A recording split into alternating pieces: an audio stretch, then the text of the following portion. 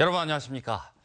2016 경주 국제 마라톤 대회가 오늘 경주 시가지 일대에서 펼쳐졌습니다. 가을비가 쏟아지는 가운데 전국에서 온 8천여 명의 선수가 열띤 경쟁을 펼쳤습니다. 김영일 기자가 보도합니다.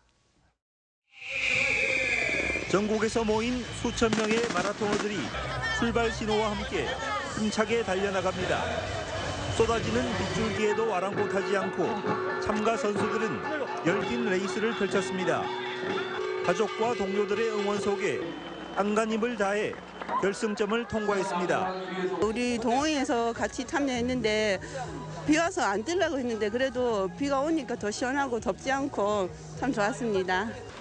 국내외 정상급 선수 40여 명과 함께 전국의 마라톤 동호회원 등 8천여 명이 대회에 참가했습니다. 무사히 완주하게 돼서 참 기쁘게 생각합니다.